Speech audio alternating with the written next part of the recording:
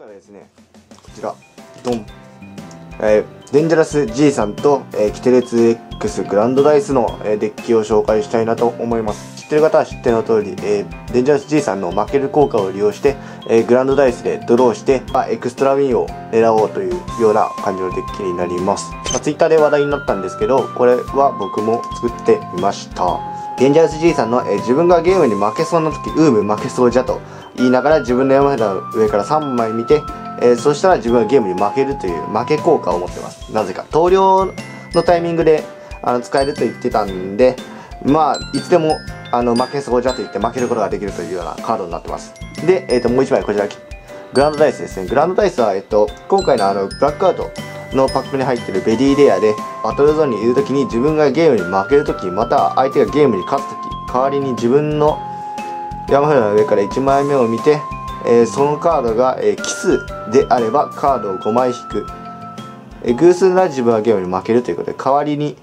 えー、5枚ドローできるという効果を持っているので負けを回避できます、はい、負けを回避して、えー、と山札の上から5枚ドローできるのでまああの相性がいいエクストラウィンのカード、えー、アイフォーミュラー10このカードで、えー、と手札が10枚以上あってタップしていたら、えー、自分のターンの割にエクストラに勝つことができるというような効果を持ってます。なので、えっと、この3枚の組み合わせは非常に面白いコンボを持ってますね、えデンジャース G さんの、え負け効果を利用して負ける時に、えグランドダイスの効果を発動して、えグランドダイスの負け回避して5枚ドローでそれを2回ぐらい使います。でそして次のターンに、えー、コードネーム iPhone ミラー10で、えー、エクストラウィンというような感じのデッキになりますね。はい。まあじゃあ簡単にちょっとあのコンボの説明をしたということでまあ動きも見てみましょうかはい、えー、まず、え、流れを説明すると、まず1マナチャージですね。で、1マナ、えー、記面状貼ります。で、まあ、記面状貼って、2ドローをした後に、えー、もう1回、今度はまあ2マナで、これ G さん出してもいいんですけど、結局、まあ、バトルゾーンに出すので、あとあと、まあ、出さなくても出してもどっちでもいいです。まあ、今回出さないで、で、ドローして、で、置いて、3マナですね。3マナで、えー、大気。まあ、大気でも、あの、ブロンズアーム、トライブでも構いません。これで基礎の2種類入ってます。で、えっ、ー、と、ブースト。で、これで4マナになります。で、次のターン2ドローして、マナを置いて、5マナで、ここでオール・フォー・ワンを展開します。オール・フォー・ワンの効果で破壊できる対象が、まあ、大気いるんですけども、もし、あの、どんどん吸い込むなとか、あとはまあ、何かしらで破壊されたりとかしたら、まあ、別に使わなくていいです。でも、まあ、手札にもしね、あの、プロメテウス、今回ちょっと見ますけど、え、プロメテウスがあれば、まあ、破壊し、これをターン終了時、オールフォワードここで破壊して、えー、最大2大きいクリーチャーなので、プロメテウス出して、デンジャースイッチ発動して、1、2枚ブースト。で、まあ、何かしら回収します。G3 でいいでしょう。G3 回収して、えー、っと、もう一回、もう一回効果使って、1、2枚。セーブワードグルかな、ここは。いや、うん。まあ、なんでもいいですここ。は、はい。まあ、カルバオリーブオイル回収しましょう。で、えっと、まあ、ターンが返してきましたと。こうなると、えっと、自分のターンに1、2、3、4、5、6、7マナ溜まってます。プロメテウスで、えっと、オールフォワンのデンジャラスイッチの効果を使うで、ドローして、えっと、まあ、何かしら置いていいんだけれど、まあ、君に置いていいか。で、1、2、3、4、5、6、7、8マナ。で、えー、グランドライスを出せるんですけど、まあ、手札にいなかったんでちょっと読んできます。はい。謎の方法を使って呼び出して、まあ、1枚だけ残してよいしょ。で4 8コストで、えー、グランドダイス出してます。でグランドダイスの効果、えー、トップを見て、えー、奇数ならば、えー、5枚ドローできます。5枚。ドローができて、えー、ターン終了時またオールフォアの効果使い、えー、プロメテウス破壊の、えー、デンジャース G さんを出すと、えー、このまあ、オールフォアの最低なんです。最大2より最大2大きいって書いてあるんですけれども正式な最低でコストが小さいクリーチャーも出せるようになったということで、えデンジャス G さんもあの普通にプロメテウスから呼び出せ呼び出せます。はい。で、えーと、デンジャス G さん出たんで、えーまあ、自分がゲーム負けそうな時にうん負けそうだと言いながら自分の山札を3枚見て、えー、負けることがいつでも可能になりました。で、えーと、この状態で、まあ、相手にターンを返してもいいんですけれどもこのまま。まあ、手札が123456789もう10枚あるのでまあ使わなくてもいいんですけどまあいろいろいじったんで今回使いましょう。えっ、ー、と G さんの、えっ、ー、と効果うん負けそうじゃと言いながら3枚見ます。でこの3枚見た後にこれはそのまま戻します。でゲーム負けました。その時グランドダイスの置き換え効果が発動して山札の上を見てトライフだったんで3まあ12345枚ドローでます。でまあこれでエントっていっていきましょう。でまあ相手が何もしなかったっていうような感じになったら、えー、まあドローしてまあマナに白8マナあるのでちょうどですね。えっ、ー、とまあ手札にこの iPhone ミラー10と、えー、どんどん打つ失うがあればまあ7マナですね。14567 7マナで、えー、iPhone ミラー10 1マナどんどん打つ失うでタップしてえっ、ー、と効果で1枚ドローしても回しなくても。でターン終了時に iPhone ミラー効果で1、2、3、4、5、6、7、8、9、10、11、12、13、14 1234567891011121310枚ぐらいエクストラウィンというような感じのデッキになりました。デッキになりました？デッキになります。ちょっと見切れてて見づらかったと思うんですけど。はい。というような感じのデッキになります。えー、光の反射の関係でちょっと近くなっちゃって申し訳ないんですけどもここら辺は、えー、光ってますね、えー、これが一応プリンです。はい。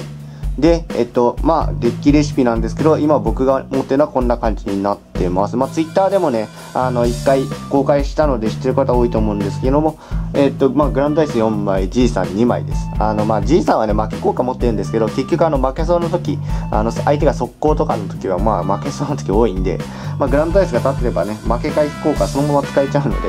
まあ、グランドアイスは、あの、4枚投入して、G さん2枚でしてます。まあ、3枚あってもいいかな。で、えっと、iPhone ミラテも、まあ、縦落ち回避するために2枚。で、えっと、どんどん映し合も2枚ですね。まあ、いろいろマラゾンからあのプロメテウスとか、あとは、まあ、幕の金具とかで回収できるので、で、もう結局手札に来るっていう、鬼面状とかグランドダイスの効果で結局は手札に来るので、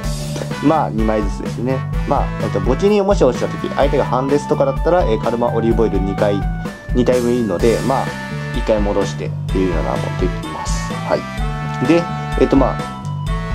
そうですね、最初の動き出し、まあ最初見てもらった通り快適免状を使って、で、次のターン、まあ何もしないっていうのもありですけど、まあ2枚目だったら快適免状2枚貼るとかもできます。で、その次に、えっ、ー、と、デュノボイ第1か、えー、ブロンズアームトレイルを出して、えっ、ー、と、まあ次のターン5マナになるので、えー、5マナで、えー、オールフォーワンを貼る。で、えー、この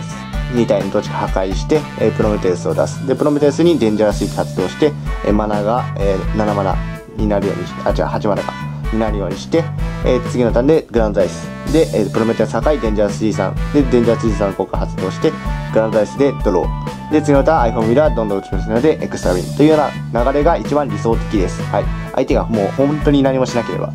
でもまあ何かしらしてくると思うんでいろいろギミックがあります。で、えっと、セブアルゴル。僕が注目したのはこのセブアルゴルです。セブアルゴルは、えっと、バトルゾーン出した時、光か水か闇かな。確か。えーと、バトル出した時に、えー、コスト5以下の光、水、闇のいずれかのサイキッククリーチャーを1体自分の超次元ゾーンからバトルゾーン出せるという効果なので、えっ、ー、とまあ、ここら辺の子たちが一応出ます。えっ、ー、とまあ、これを、まあ、オールフォーワン貼った時、貼ってあって、まあ、デンジャラスイッチ使ってない時に、お、えー、セバルゴルを出して、デンジャラスイッチ発動、えー、セバルゴルの効果で、えっ、ー、と、マティーニと、えっ、と、まあ、シルバーボルグを出すと、えー、マティーニの効果が発動して、えー、っと、シルバーボルグ、えー、っと、コスト4以上のブロッカーなので、これが覚醒します。で、えー、っと、ターン終了時、えー、オール・フォー・ワンの効果で、え、っと、ユリア・マティーニ、えー、6マナを破壊します。6マナ破壊すると、えっと、自然的に最大に大きいなので、えー、8マナのクリーチャーが出せるので、手札からこのグランドダイスが呼び出せるっていうようなコンボもできます。これもあの、一回、回し方、の、ツイッターであげたのでそちらもぜひご覧ください。で受け札は、まあ、クロックと、まあ、オリーブオイルかなブロッカーでどんどんスペシャルの、えー、まあ、タップタップしてるクリーチャーに投げてください。よというような効果ですね、えー、グランドダイス自身が、えーと、手札が10枚あると、まあ、プラス1万パワーがプラス1万されてクワトロブレーカーでブロックされないっていう効果を持つので、えーとまあ、パワーが1万上がって1万8000になるのか。はい、10枚以上なら1万8000になるので、まあ、受けとしては非常に強い効果を持ってますね。非常にパワーがでかいクリーチャーになるので、まあ、殴っても勝てるような感じのデッキですね。まあ、もしここのエクストラウィンが決まらなかったら、えー、グランドダイスのクワトロブレイク G3 ブレイク。で何かしらいるやつでブレイク。っていうような感じで勝つことも一応はできます。サブルートで。勝つことできるので、はい、なんとかなります。で、えっと、僕このデッキ一応フリーで回した時は、えっと、ゴシジャックのデッキにニコル・ボフラスを3回ほど投げられたんですが、なんとか勝ちましたね。なんで勝ったかっていうと、まあ、鬼面状を最初のターンに、えー、最初のターンというか、最初のターン張って、次のターンも張って、もうそれ次のターンも張ってましたあれは本当に運が良かった試合だったのでまあ本当に勝てたんですけど、まあ、その他にもね、あの、もしニコル投げられた時にカルバオリーブオイルで貝墓地に置いてシャッフルして、で、えっ、ー、と、G さんグランドダイス出して、で、10枚ドロー、えー、次のターン何もしてこなかったんで、フォーミュラで、えー、打つスペシャルでエクストラウィンというような感じで勝ちました、その時は。はい。まあ一応勝てるデッキではあるので、勝てるデッキでもあるし、まあ面白いデッキでもあるので、ぜひ皆さん使ってみてください。あと注意しておかないといけないのが、えっ、ー、と、デンジャース G さんの効果ですね。えっ、ー、と、まあ、負けそうじゃと言って、えー、山札3枚見て、もしそのてっぺんが、えっ、ー、と、グランドダイスだったり、G さんであったら負けちゃいます。そのまま。グランドダイスの効果使わずに。えー、使ったところでもう順番は変えられないので、グランドダイスの効果で負けちゃいます。はい。なんで、本当に面白いんですよね、そのコンボが。えっ、と、奇数がもう、えっ、と、このグランドダイスと G さん以外は全部奇数です。はい。クリあまあ、さっきクリーチャーは関係なしに、えー、ここにいるのはほとんど奇数なのでまあ外れる可能性は本当に少ないですけれどもまあもし外れちゃったら本当に一瞬で負けちゃいますなので本当にここは、えー、非常に怖いカードですのでまあ変えるのであれば3マネバルビーゴービーとかあとそういうのは入れといた方がいいかなヤマフラのてっぺんに操作できるやつは入れて G3 グランドダイスっていうのをやると、まあ、確実に、えー、負け返しができるのではないかなとは思いました。はい、でもまあ枠がね135っていう135っていうのは35の動きがしたかったんで、えー、大気と、えー、トライフを積んでますあとこのダブルチャンスですね幕の金ブロカこれも一応マナチャージができるので一気にプロムテウスまでつなげることができますはい。というわけで、えっと、今回これが、えっと、僕の持ってるグランドダイスのデッキの紹介になりました。ぜひ皆さんね、あの、もし作りたい方がいらっしゃいましたら、え今だったら、まあ、比較的安いかな。グランドダイスもね、僕の近所だと180円ぐらいだったので、えっ、ー、と、まあ、買えるんじゃないかなとは思います。iPhone ミラー10がね、あ、ちょっとここら辺かな ?iPhone ミラー10と、セーブ R ゴルぐらいかなちょっと今入手しづらいのは、そこぐらいですかね。あとはまあ、長次元はね、まあ、本当に適当です。あの、コスト5以下で、まあ、セーブ R ゴルから出せるやつ。このシルバーボルグとマティーニがいて、えっ、ー、と、まあ、ポリも常備ですかね。で、突っ張り騎士はですね、あの、マグマを回避できます。えっ、ー、と、プロメテウスとかはまあ、耐えられないんですけど、まあ、2体出すけど突っ張り騎士からの、まあ、ファーザー、まあ、プリン。ここら辺出すと、まあ、マグマ回避して打点は増えるっていうのはできるので一応。まあ相手マグマが出そうなデッキだったらまあこの突っ張り騎士立ててグランドダイスで殴るっていうのもあるかもしれませんね。はい。デッキレシピの紹介もこれで以上となります。ぜひ皆さん作ってみてください。バイバイ。ご視聴ありがとうございました。当チャンネル、デュエルレコードチャンネルの他にも、僕たちのセカンドチャンネルがございます。まあ、動画投稿する内容はいろいろあるんですけれども、まあ、雑談だったりとか、このチャンネルで出せなかったメイキング動画とか、あと NG みたいな感じで いろいろ出していこうかなと思ってますので、ぜひチャンネル登録の方よろしくお願いします。僕たちの対戦動画ウィキというものがあります。そちらは、えー、下の概要欄、この動画の下の概要欄に載せておきますので、ぜひご覧ください。えプロフィールだったりとか、この、このチャンネルについてのいろいろなことが、いろいろ、いろいろなこといろいろいろいろ書いてあるので